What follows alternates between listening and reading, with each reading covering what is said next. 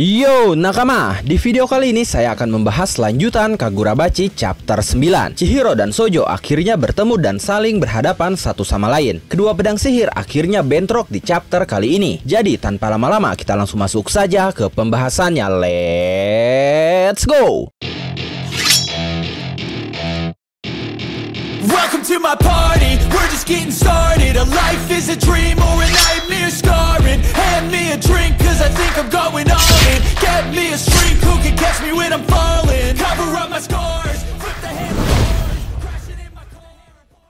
Judul Kagurabachi chapter 9 adalah Enten versus Kuregumo. Chapter kali ini diawali dari beberapa waktu lalu setelah Shiba dan Azami meninggalkan Chihiro di toko Hinao. Mereka berdua sedang berada di mobil. Azami berkata, "Begitu rupanya. Kurasa Sojo memang memiliki Kuregumo. Itu memang aneh, melelang benda penting seperti Shinuchi dan memberi hadiah untuk memburunya. Maksudku, tindakan Sojo hingga saat ini terlalu gegabah." Shiba bertanya, "Apakah Sojo ingin berperang dengan kamu Nabi?" Azami berkata, "Mungkin saja, tapi dia yang memiliki Kuregumo itu masuk akal. Itu artinya dia tahu dia tidak bisa mengalahkan kami semua. Jadi bukankah lebih baik bagi Chihiro untuk tetap bersembunyi sementara ini? Mendengar hal itu Shiba terlihat kesal karena menurutnya Chihiro itu sudah bisa bertarung. Azami menjelaskan, justru karena Chihiro bisa bertarung. Di perang Seitei, semua pedang sihir ada di pihak kita. Tidak pernah ada kasus di mana pengguna pedang sihir saling bertarung satu sama lain. Dan ini bukan lagi tanah tanpa hukum seperti dulu. Setelah mengatakan itu, mereka melewati sebuah tempat ramai di mana di sana sedang diadakan sebuah pameran dalam rangka perayaan berakhir akhirnya perang. Banyak anak-anak datang ke pameran itu. Dan menurut Azami, anak-anak mungkin akan mengagumi sang pahlawan Rokuhira. Karena di sana dipajang beberapa foto Kunishige Rokuhira sedang menempa pedang. Dan dipajang juga pedang-pedang replikanya. Azami mengatakan bahwa pedang sihir dan Rokuhira digadang-gadang sebagai salah satu yang mengakhiri perang. Dan menjadi warisan mulia di masa lalu. Tapi semuanya akan berubah jika pedang sihir saling bertarung di kota saat ini. Setelah itu kita beralih ke Chihiro yang sudah berhadapan dengan Sojo. Sebelumnya di pikiran Chihiro penuh dengan pertanyaan tentang Sojo, seperti di mana Shinuchi, kenapa Sojo bisa tahu lokasi Chihiro dan Char, apa tujuan dia sebenarnya, apa hubungan dia dan Hisaku, kenapa dia mencari Char, dan pertanyaan lainnya tentang Kuregumo. Tapi dalam sekejap setelah melihat Sojo menggunakan Kuregumo milik ayahnya di hadapannya, Chihiro dipenuhi dengan emosi. Sojo pun saat itu cukup terkejut dengan Chihiro. Dia berpikir di dalam hatinya kenapa Chihiro tidak terluka, padahal serangan Mei yang tadi dia lancarkan adalah petir. Bahkan penyihir pun pasti akan terpengaruh serangan itu. Sojo bertanya-tanya apa itu karena kekuatan pedang sihir Chihiro. Kemudian Sojo langsung berkata kepada Chihiro, Hei, kenapa kau memiliki pedang sihir yang tidak aku ketahui? Mendengar pertanyaan Sojo, Chihiro berpikir bahwa Sojo menunjukkan rasa ketertarikannya pada pedang sihir, sehingga mungkin saja Sojo datang bukan untuk mencari Char. Lalu Chihiro pun berlari keluar dan mulai bertarung dengan Sojo di sana. Chihiro sudah mengetahui kekuatan dari Kuregumo, di mana pedang itu menguasai tiga elemen, dan Mei adalah elemen petir. Setelah itu Sojo menggunakan teknik lain selain Mei, yaitu Yui, sementara Chihiro menggunakan Kuro. Yui adalah elemen es. Tebasannya membentuk es dan mengarah ke Chihiro langsung, tapi Chihiro bisa menebas es itu dengan Kuro. Sojo akhirnya menyadari bahwa kekuatan dari pedang sihir Chihiro adalah untuk membuat tebasan. Dan di saat Sojo menangkis tebasan Chihiro sebelumnya, ternyata Chihiro melempar pedang pendeknya dan sudah hampir mengenai wajah Sojo. Hanya saja Sojo berhasil menangkisnya, tapi hal itu dimanfaatkan Chihiro untuk menuju arah belakang Sojo dan menyerang punggungnya. Tapi lagi-lagi Sojo bisa menahannya. Chihiro sangat terkejut karena Sojo bukan hanya menangkisnya dari posisi sulit, tapi Chihiro justru yang terpental. Tapi mau bagaimanapun itu, Chihiro merasa harus mengulur waktu supaya Char dan Hinao bisa kabur. Hanya saja Chihiro menyadari Sojo lebih kuat darinya. Nafas Sojo pun bahkan tidak berubah. Kecepatan tadi pun bukan kecepatan maksimalnya. Chihiro merasa harus menggunakan Nishiki, tapi kondisi Chihiro sudah tidak memungkinkan. Dan bahkan jika Chihiro bisa menggunakannya pun, itu hanya bisa sekali saja dan mungkin tidak akan bertahan walau hanya satu detik. Kemudian Sojo berkata, dengan sepenuh hati, aku ini mencintai Rokuhira Kusinige. Senjata yang dia lahirkan itu luar biasa. Supaya bisa mendekati puncak itu, aku mempelajari semua buku tentang dirinya. Lalu tidak lama ini, aku diberi Kuregumo. Aku mengagumi semua karya seninya. Rasanya seperti di puncak dunia, tapi perasaan itu hanya sekejap. Jadi kembali ke pertanyaanku tadi, bagaimana bocah sepertimu bisa memiliki pedang yang bahkan tidak ku ketahui? Dari mana kau mendapatkannya? Chihiro hanya berkata, aku tidak harus menjawabnya. Sojo berkata lagi, sungguh tidak ramah. Kalau begitu, setidaknya katakan kenapa kau memiliki pedang sihir itu. Aku harus tahu apakah kau layak memiliki karya emasnya. Chihiro lalu menjawab, untuk menghancurkan kejahatan, untuk menyelamatkan yang lemah. Itu saja. Lalu Sojo berkata, seperti yang kuduga, tidak ada orang yang mengerti dirinya selain aku. Semua buku tentangnya sama. Aku tidak tahan melihatnya, hanya menghina dia sebagai pahlawan. Bahkan jika kau mengatakan sesuatu yang menarik, hanya ada satu alasan untuk membuat pedang. Kau tidak mengerti apa pun. Aku hanya harus menunjukkannya kepadamu. Setelah itu Sojo melompat dan menggunakan Mei. Lalu dia mendarat dan menancapkan pedangnya ke tanah untuk menyerang orang-orang yang sedang berjalan di sekitar sana. Sojo berkata, pedang sihir adalah senjata pembantaian yang paling ampuh, hanya ada untuk mencabut nyawa. Melihat hal itu, Chihiro panik dan berteriak. Setelah itu kita berpindah ke panel Azami lagi yang sebelumnya berkata, jika hari ini para pengguna pedang sihir saling bertarung di tengah kota, kematian warga sipil tidak akan bisa dihindari. Jika itu terjadi, reputasi pahlawan yang dimiliki Rokuhira Kushinige akan langsung hancur. Kembali ke pertarungan Sojo melawan Chihiro, saat itu listrik mulai mengalir ke segala arah dari pedang Sojo. Sojo berkata, kekuatan yang luar biasa, bagus sekali Rokuhira. Senjatamu ini fantastis, memancarkan listrik ke segala arah, bunuh semua orang. Sementara orang-orang saat itu panik ketakutan dan mulai berlarian. Tapi beruntung saat itu Chihiro berhasil menghentikan atau bisa dikatakan menahan serangan listrik itu hingga tubuhnya hangus terbakar. Dan berkat Chihiro itu semua orang selamat. Sojo sangat terkejut. Dia berkata, apa yang sudah kau lakukan? Chihiro berkata, itu berhasil, sama seperti penangkal petir. Aku hanya bertindak sebagai induktor untuk pelepasan petir. Ujung penangkal petir mempunyai pelepasannya sendiri yang berfungsi sebagai induktor untuk petir. Sojo sangat terkejut dengan tindakan Chihiro. Dia berpikir di dalam hatinya, jadi dia menarik semua listrik yang muncul ke pedangnya. Itu artinya pedang sihirnya pun mempunyai kekuatan listrik. Tidak, lebih dari itu, dia sudah menjadikan dirinya sendiri sebagai penangkal petir. Lalu Sojo mulai menggunakan kekuatan Mei lagi sambil berkata, kau kira itu akan berpengaruh, aku hanya tinggal melancarkannya lagi. Tapi tiba-tiba listrik yang tadi mengaliri pedangnya kini mulai menghilang. Setelah itu muncul kenangan Chihiro dan juga ayahnya, di mana ayahnya berkata, Mei dari Kuregumo adalah serangan besar yang harus dipersiapkan terlebih dahulu. Itu membutuhkan jeda sekitar 20 detik. Kemudian Chihiro berkata kepada Sojo, aku belajar darinya lebih dekat dari siapa pun. Yang tidak tahu apa-apa itu adalah dirimu. Kemudian Sojo mulai mendekati Chihiro lagi sambil berkata, sekarang saatnya kau berhenti berlaga so kuat. Bahkan kau hampir tidak bisa berdiri lagi. Tentu saja tubuhmu baru saja menerima petir sebesar tadi. Dan ternyata saat itu memang Chihiro terlihat sudah tidak bisa berdiri tegak. Tapi dia berpikir, dalam waktu 20 detik itu semua orang bisa pergi. Dan tidak lama setelahnya, kamu nabi pasti akan datang. Hingga saat itu, aku harus menebas orang ini. Kemudian setelah itu Chihiro sempat terjatuh. Tapi dia masih bisa menahannya dan langsung menggunakan Nishiki. Dan itu menjadi akhir chapter 9 kali ini. Seperti biasa sebelum berakhir ada sebuah catatan editor yang kali ini berbunyi. Kekuatan tekadnya membara dengan kuat. Bagaimana menurut kalian tentang Kagurabachi chapter 9 kali ini? Silahkan tulis dan diskusikan pendapat atau bahkan teori kalian di kolom komentar. Oke, terima kasih sudah menonton video ini sampai akhir. Mohon maaf jika ada kesalahan dalam narasi maupun dalam terjemahan dan penyebutan istilah asing. Tetap nantikan konten Kagurabachi dan konten menarik lainnya hanya di Nakama Ngatik. Sekali lagi terima kasih dan sampai jumpa di video selanjutnya.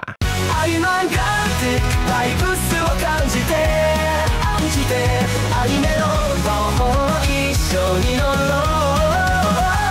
漫画のページがめくれて生き生きと旅に参加して私たちと共に。